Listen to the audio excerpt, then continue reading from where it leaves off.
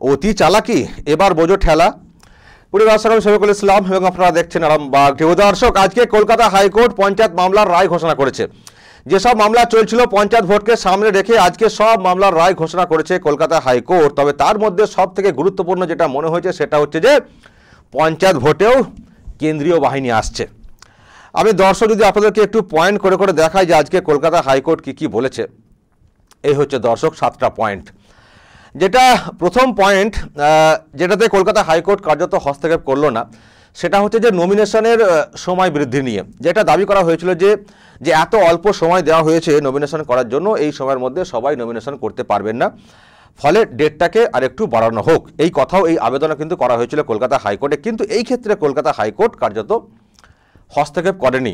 তবে এটা বলেছে যে যাতে করে সবাই নমিনেশন ফাইল করতে পারেন, তার জন্য পর্যাপ্ত ব্যবস্থা করতে হবে নির্বাচন কমিশনকে, সেটা তাদের দায়িত্ব। তাদের দায়িত্ব ঠিকঠাকভাবে নমিনেশন পর্বটাকে সম্পন্ন করা এটা তাদেরকেই দেখতে হবে। আমরা এখানে হস্তক্ষেপ করছি না যে এতদিন বাড়াতে হবে ইত্যাদি বিষয়। এখানে আমরা কিছু করছি না। যে বিজ্ঞপ্তি জারি করা হয়েছে কমিশনের তরফ থেকে, ওটা থাকছে।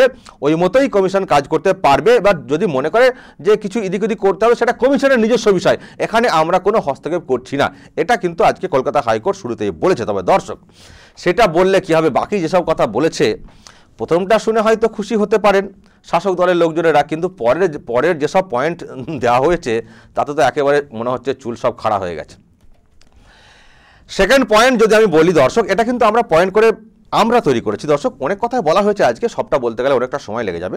আমি জাস্ট সাতটা পয়েন্ট আমি বেঁচেছি দ্বিতীয় যেটা আমি বলতে চাইছি, দর্শক, সেটা হচ্ছে যে সিসিটিভি ইউজ করতে হবে সিসিটিভি ওই যাতা করে করে ফেললাম, ওইসব চলবে না। সিসিটিভি ইউজ করতে হবে, যেখানে ইউজ করার মতো পরিবেশ রয়েছে।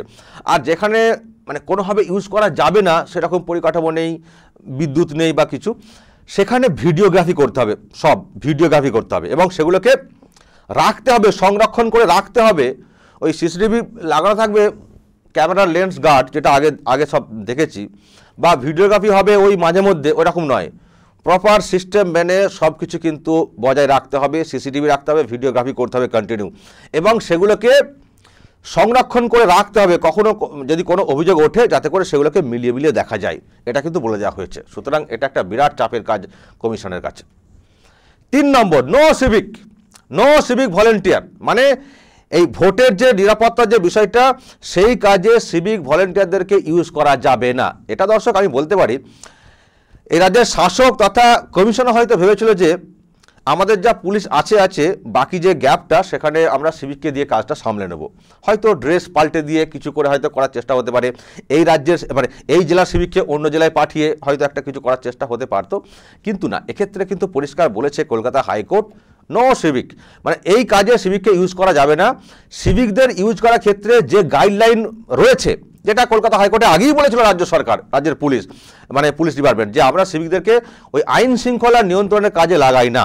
এটা কিন্তু মানে রাজ্য সরকারের তরফ থেকে কলকাতা হাইকোর্টে বলা হয়েছিল। সুতরাং যে গাইডলাইন তারা নিজেরাই ঠিক করেছে, বলেছে, সেই মতোই তাদেরকে কাজে লাগাতে হবে। এর বাইরে কোনোভাবে কাজে লাগানো যাবে না। মানে ভোটের কাজে সিভিক ভলেন্টিয়ারদেরকে লাগানো যাবে না। এটা কিন্তু পরিষ্কার আজকে বলে দিয়েছে কলকাতা হাইকোর্ট। ফলে ওই যে পুলিশের যে গ্যাপটা সেখানে সিভিক ভলেন্টিয়ারদেরকে দিয়ে পূরণ করিয়ে ভোটটাকে উতরে দেবো, এ এ চলবে না।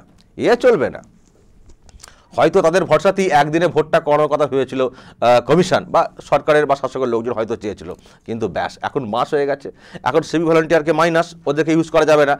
তাহলে পুলিশ কত আছে? পুলিশ অনেক কম, একদিনে ভোটটা করাতে হবে। কারণ আগেই ঘোষণা হয়ে গেছে, আর এখন দফা ভাঙতে পারা যাবে না যে একই পুলিশকে বিভিন্ন দফা- দফাতে ইউজ করা যাবে বলে। যদি সেটা আগে থেকে করতেন, তিন দফা, চার দফায় ভোট, তাহলে যে পুলিশ রয়েছে সরকারের, এই রাজ্যের, সেটাকেই বারবার ইউজ করতে পারতো। কিন্তু নিজেরাই বাঁশ আগে থেকেই মানে বলা যায়, নিয়ে বসে আছেন যে এক দফায় ভোটটা ঘোষণা করে দেওয়া হয়েছে। এখন একদিনে ভোটটা করাতে হবে, তার মানে এমনিতেই শর্ট হবে বিরাট সিকিউরিটি, ফলে কেন্দ্রীয় বাহিনীকে একটা বড় সংখ্যা ইউজ করতে হবে।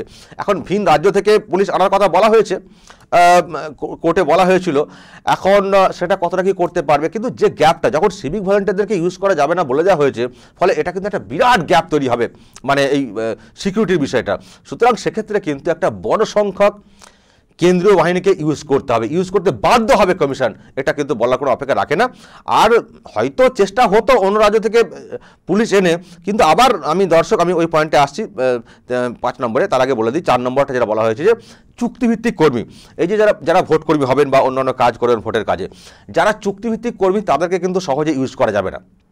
বলা হয়েছে যারা স্থায়ী, তাদেরকে কিন্তু প্রথম দিক থেকে ইউজ করে আসতে হবে। যেসব কাজে ইউজ করা যায়।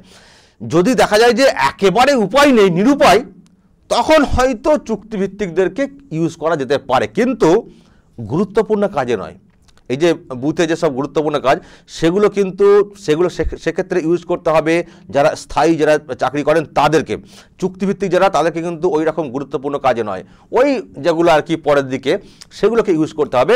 তাও একমাত্র নিরুপায় অবস্থা হলে, আগে কিন্তু যারা স্থায়ী, তাদেরকেই প্রথম থেকে যেসব কাজগুলো রয়েছে, সেগুলোকে তাদের, তাদেরকে দিয়ে করাতে হবে। এটা কিন্তু পরিষ্কার বলে দিয়েছে কলকাতা হাইকোর্ট। আর আমি দর্শক, যেটা সিভিক নিয়ে বলতে বলতে থেকে গেলাম, এই যে পাঁচ নম্বর যে পয়েন্টটা কেন্দ্রীয় বাহিনীকে ব্যবহার করতে হবে। শুধু ওই দেখব মানে কতটা শর্ট হচ্ছে বাকিটা মেকআপ দেবো কেন্দ্রীয় বাহিনী বা ভিন রাজ্যের পুলিশ দিয়ে সেটা নয়। কেন্দ্রীয় বাহিনীকে ইউজ করার ক্ষেত্রেও কিন্তু একটা নির্দেশ দিয়েছে। ইউজ করতেই হবে। বিশেষ করে যেটা বলে দেওয়া হয়েছে যে সাতটা জেলা সেন্সিটিভ বলে বলা হয়েছে। আমি সেই জেলার দর্শক নামগুলো আমি পরে বলব। সেই সাতটা জেলাতে কিন্তু কেন্দ্রীয় বাহিনীকে ইউজ করতে হবে। সেন্সিটিভ এবং যেগুলো হাইলি সেন্সিটিভ সেক্ষেত্রে কিন্তু কেন্দ্রীয় বাহিনীকে ইউজ করতেই হবে। বাকি যেসব জেলা রয়েছে, সেসব জেলাতে যদি কোথাও মনে করে যে ওই সব জেলার মধ্যে এই জায়গাটা সেন্সিটিভ এরিয়া বা এখানটা গণ্ডগোল হতে পারে, সেখানে কেন্দ্রীয় বাহিনীকে ইউজ করা হবে কি হবে না, সেটা কমিশন ঠিক করবে। কিন্তু এই যে সাতটা জেলা, সেটা সেখানে কিন্তু ইউজ করতেই হবে। বাকি যে জেলা যেখানে গন্ডগোল হতে পারে, সম্ভাবনা রয়েছে, সেটা অ্যাসেস করতে হবে কমিশনকেই এবং কমিশনকে সিদ্ধান্ত নিতে হবে যে ওখানে ব্যবহার করা হবে কি হবে না কেন্দ্রীয় বাহিনীকে। তবে হ্যাঁ যদি ব্যবহার না করে কোনো রকমের ভোটটা করানোর চেষ্টা হয়, আর যদি গন্ডগোল হয়, তাহলে কিন্তু আমি পরের পয়েন্টে আসছি। সেটা লাস্টের পয়েন্টে রয়েছে, আমি সে কথা আসছি দর্শক পরে। ছ নম্বর যে পয়েন্টটা সেটা হচ্ছে বলা হয়েছে যে ত্রিস্তরীয় যে ভোট গ্রাম পঞ্চায়েত পঞ্চায়েত সমিতি এবং জেলা পরিষদ। এই তিন স্তরের ভোটের গণনা একসঙ্গে করতে হবে। যে পঞ্চায়েতটা হয়ে যাক, তারপর আবার সমিতি করব, তারপর জেলা পরিষদ করব, এরকম নয়। একসঙ্গে কাউন্টিং করতে হবে। কারণ অনেক সময় হয় কি, একটা স্তরের রেজাল্ট যখন কিছু কোনো একটা দলের দিকে চলে আসে, তখন অন্য যে গণনা, সেখানে কিন্তু একটা প্রভাব তৈরি হয়। অনেক সময় গণনা ঠিক করে করা হয় না। ও জিতে গেছে মানে এটাও জিতে যাবে, ধরে ধরে নেওয়া হয়। ওই রকম করলে কিন্তু চলবে না। একসঙ্গে করতে হবে। একসঙ্গে মানে যাতে করে কোথাও কোনো ওই, হাল ছেড়ে দেওয়ার পজিশন না আসে। তিনটে স্তরের গণনা একসঙ্গে করতে হবে। সেটাও কিন্তু কলকাতা হাইকোর্ট একেবারে কাউন্টিংয়ের ক্ষেত্রে একেবারে গাইডলাইন তৈরি করে দিয়েছে। কারণ এরা, এই সব নিয়ে অনেক অভিযোগ রয়েছে আগে। আর যেটা দর্শক বলছিলাম, যারা ভোট কর্মী, তারাও একটা, তারাও কিন্তু একটা মামলা করেছিলেন, যে আমাদেরকে যদি কেন্দ্রীয় বাহিনী না দেওয়া হয়, আমরা যাব না ভোট করাতে, যেতে পারব না। কারণ আমরা যা এখন থেকে আঁচ পাচ্ছি নমিনেশনে যা হাল, ভোট করাতে গেলে আমাদের নিরাপত্তায় একটা বিরাট প্রশ্নের মুখে পড়ে যাবে। সুতরাং আমরা ভোট তখনই করাতে যাব, যখন আমরা কেন্দ্রীয় বাহিনীর সাপোর্ট পাবো। আমাদের জন্য কেন্দ্রীয় বাহিনীর মানে ব্যবহার বাধ্যতামূলক করা হোক মানে কেন্দ্রীয় বাহিনীকে ইউজ করা হোক বুতে বুতে। এই কথা বলে যারা আর কি ওই ডিএ মুভমেন্ট করছেন যারা টিচার তারাই তো ভোট কর্মী হবেন তারা কিন্তু একটা অ্যাপিল করেছিল কলকাতা হাইকোর্টে।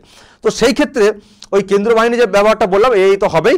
কিন্তু এই ক্ষেত্রে বলা হয় যে প্রত্যেক ভোটকর্মী প্রত্যেক ভোটকর্মীর নিরাপত্তা সুনিশ্চিত করতে হবে কমিশনকে।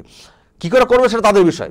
আমি বলছি কেন্দ্র বাহিনীকে ইউজ করা যেতে পারে। এবং এটা বলে দেওয়া হয়েছে কেন্দ্রকে যে কেন্দ্র যাতে বিনামূল্যে নিখরচায় কেন্দ্র বাহিনী দেয়। সেটা কিন্তু বলে দেওয়া হয়েছে, সেটা কেন্দ্র দেবেও, সেটা আমরা যতটুকু দর্শক জানি। কিন্তু এটা বলা হয়েছে যে ইউজ করার ক্ষেত্রে কোথায় কীভাবে ইউজ করা হবে এই সেন্সিটিভ জেলার বাইরে? কোথায় কি ইউজ করা হবে? সেই সমস্ত বিষয়ে সিদ্ধান্ত নেবে নেবে নির্বাচন কমিশন এবং কমিশনার। তিনি সিদ্ধান্ত নেবেন। কিন্তু হ্যাঁ ওই যদি গাফিলতি হয় মানে ওই আর কি, নিজের মতো করে করব, ঠিক আছে, আমাকে যখন সিদ্ধান্ত নেওয়ার কথা বলেছে, আমার বিরাট পাওয়ার আমি যা খুশি করতে পারি, আমি ইউজ করতে পারি, নাও পারি, বলে চুপচাপ গ্যাট হয়ে বসে থাকেন, নিজের মতো করে করান। কিন্তু যদি তারপর কোনো ঘটনা ঘটে যায়, তার দায় কিন্তু নিতে হবে কমিশনারকে। তার দায় নিতে হবে কমিশনারকে, কমিশনকে তথা তথা শাসককে। সেই কথাও কিন্তু পরিষ্কার বলে দিয়েছে আজকে কলকাতা হাইকোর্ট। তার মানে সবটাই কিন্তু লিপিবদ্ধ হয়ে রইল অর্ডারে এবার চলো, যেমন খেলবেন, তার তেমন রেজাল্ট হবে। সুতরাং দর্শক, আজকে যে অর্ডারটা করেছে কলকাতা হাইকোর্ট, প্রথমটা দেখে হয়তো আমরাও খানিকটা ঘাবড়ে গেছিলাম যে যা কলকাতা হাইকোর্ট কি তাহলে হাত তুলে নেবে নাকি? কোনো কি হস্তক্ষেপ করবে না কলকাতা হাইকোর্ট বা করেনি? কমিশনের পাওয়ার রয়েছে বলে টোটালটাই কমিশনের উপরে কি ছেড়ে দিল? প্রথমটা কিন্তু এই প্রথম পয়েন্টটা সবার আগে এসেছিল। এসে আমরা খানিকটা ঘাবড়ে গেছিলাম। যারা আমরা চাইছি যে সুন্দর, সুষ্ঠু এবং অবাধ ভোটটা হোক, যারা আমরা চাইছি, তারা ঘাবড়ে গেছিলাম। কিন্তু তারপরে পরে যেসব খবরগুলো আসতে থাকল, যখন অর্ডারটা পড়া হচ্ছিল, সবটা তো একসঙ্গে আসেনি। একটু করে পড়া হচ্ছে, সেটা নিয়ে ব্রেকিং নিউজ চলে আসে মিডিয়াতে সবটা না শুনে। তো যখন পরে পরে এই সব পয়েন্টগুলো এলো, এবং তার মধ্যে যেটা সব থেকে গুরুত্বপূর্ণ, যেদিকে সবাই তাকিয়েছিলেন বলা যায়, কেন্দ্রীয় বাহিনীর ব্যবহার, যখন সেটা সামনে চলে এলো, তারপরে আমরা দেখতে পাচ্ছি, যারা বিরোধী, তারাও তারাও কিন্তু উচ্ছ্বসিত যে না, ঠিক আছে। ঠিক আছে নমিনেশনের ডেটটা হয়তো বাড়ানো যায়নি। আমার, আমরা এর মধ্যেই চেষ্টা করব। যদি এর মধ্যে নমিনেশন কমপ্লিট করতে না পারি কমিশনের কাছে গিয়ে আমরা অ্যাপিল করব, যাতে করে ডেট বাড়ানো যায়। সে অ্যাপিলটা করব, যেহেতু কলকাতা হাইকোর্ট বলেছে, সেটা কমিশন চাইলে করতে পারে, সেটা বলব। কিন্তু সেটা নিয়ে সেটা হয়তো হস্তক্ষেপ করল না কলকাতা হাইকোর্ট। কিন্তু বাকি যেসব পয়েন্ট যেসব গাইডলাইন তৈরি করে দিয়েছে, এটা একটা বিরাট বিষয়।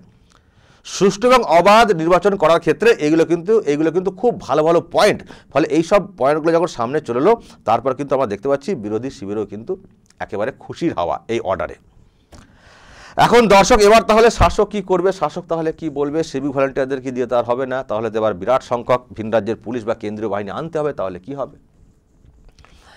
আমার দর্শক যেটা মনে হচ্ছে এই বেশি পাকামি করতে গিয়ে আরও ফেসে গেছে। ভাঙড়ে যা চলছে, গতকাল এবং আজকে, যা হয়েছে, আমার মনে হয় এই সবগুলো আরও বাঁশ হয়ে গেছে। এই মানে শাসকের বিরুদ্ধে বিরুদ্ধে চলে গেছে। কারণ এগুলো সব তো নজরে চলে এসছে। সব তো দেখতে পাচ্ছেন, সবাই যারা অর্ডার দিচ্ছেন, তারাও তো দেখতে পাচ্ছেন কি হচ্ছে, না হচ্ছে। এই যে কিছু কিছু ঘটনা এমন সব সামনে চলে এসছে, এগুলো কিন্তু আরও বাঁশ হয়ে গেছে। তবে দর্শক, আমি, আমার যেটা মনে হচ্ছে, আমি আলাদা একটা খবর করব না, ভাঙড় নিয়ে। ভাঙড়ে আজকে অনেক কিছু ঘটেছে। ভাঙড়ের জন্য কিন্তু একটা ভালো খবর হয়তো আসতে চলেছে। ভাঙড়ের ভোট কোন ক্ষেত্রে ভাঙড়ের নিরাপত্তা নিয়ে। আমার দর্শক মনে হচ্ছে, জাকাণ্ড ঘটিয়ে ফেলেছেন আরাবুলরা। নিজেদের বাঁশ নিজেরাই কার্যত নিয়ে ফেলেছেন। এবার শুধু নমিনেশন নয় নমিনেশন তো আজকে অনেক কিছু হয়েছে যা খবর পেলাম। কিন্তু ওখানের ভোট কিন্তু কড়া নিরাপত্তার মধ্যে দিয়ে হবে, সেটা কিন্তু আমরা আন্দাজ করতে পারি, যেভাবে গাইডলাইন তৈরি করে দিয়েছে কলকাতা হাইকোর্ট। দর্শক কি বলবেন? যদি এসব নিয়ে আপনাদের কিছু বলার থাকে, অবশ্যই বলবেন কমেন্ট বক্সে, নজর রাখবেন আরামবাগ টিভিতে।